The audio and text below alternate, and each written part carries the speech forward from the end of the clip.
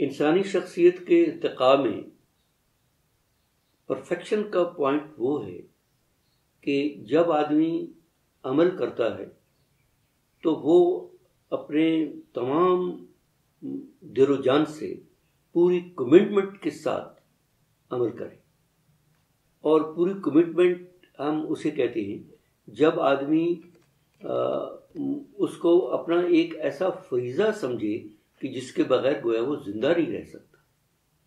اور یہ دیکھے کہ اس وقت وہ گویا اللہ تعالیٰ کو حاضر و ناظر جان کر وہ کام کر رہا ہے۔ اس لحاظ سے اگر آپ دیکھیں تو تمام ہمارے زندگی کے تمام کام، ہماری تمام افعال اور ہماری تمام حرکات، جو کچھ بھی ہے وہ سارے کے سارے عبادت میں شامل ہو جاتے ہیں۔ اور احسان جسے کہا گیا، وہ ایک مثال ہے جو کہ عبادات میں سے رسول اللہ صلی اللہ علیہ وسلم نے چن کر وضاحت کر دی کہ آدمی کوئی بھی عبادت کر رہا ہو، غرضی کے کوئی کام بھی کر رہا ہو، اس کو اس کے تمام لوازمات کے ساتھ، تمام شرائط کے ساتھ تکمیل تک پہنچائے۔ اور اسی احسان کو بعد میں آنے والوں نے تصوف کا نام دیا۔ تو تصوف احسان ہے۔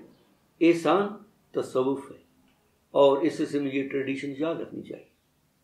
اب جب یہ ٹریڈیشن جہاں آئی، تو یہ گویا اسلام کا ایک ایک باطنی شعبہ تعلیم و تربیت ہو گیا۔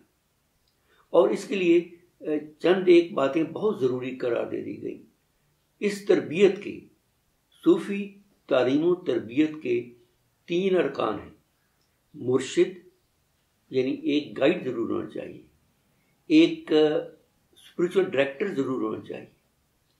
ایک ایسا ٹیچر ایک ایسا استاد ضرور ہونا چاہیے جو یہ بتا سکے کہ آپ نے کس طرح آگے بڑھنا ہے، کس طرح اپنے اخلاق درست کرنے ہیں، کس طرح اپنی کوئی اندرونی بیماری دور کرنی ہے اور کس طرح آگے چلتے چلے جانا ہے۔ تو یہ گویا زندگی کے سفر میں ایک رفیق کے طور پر ہوتا ہے کہ جب وہ، جہاں جہاں آدمی جاتا ہے، جہاں جہاں انر جرنی میں آدمی چلتا چلا جاتا ہے، وہ مرشد اس کے ساتھ ہوتا ہے۔ دوسرا رکن جو ہے، وہ ذکر ہے۔ اور ذکر میں یہ بات یاد رکھنی چاہیے کہ یہ سارے کے سارے عبادات ایک لحاظ سے ذکر میں ہیں۔ اور ذکر کا میں نے ہوتا ہے یاد کر۔ گویا ہر وقت اللہ تعالیٰ کی یاد رہے۔ آدمی کوئی بھی کام کر رہا ہو تو وہ گیا اللہ کو یاد کر رہا ہو۔ لیکن ذکر کے کچھ روایتی طریقے بھی ہیں اور وہ بھی مرشد سکھاتا ہے۔ اس میں یہ ہوتا ہے کہ کچھ اسماء حسنہ بار بار دہرائے جائیں، قرآن مجید کی تلاوت کی جائے اور اس کے علاوہ کچھ اوراد پڑھے جائیں اور پھر لوگوں نے کچھ مراقبات تجویز کیے ہیں اور ان سارے کے ساری کہیں نہ کہیں سے سنت میں دلیل موجود ہے۔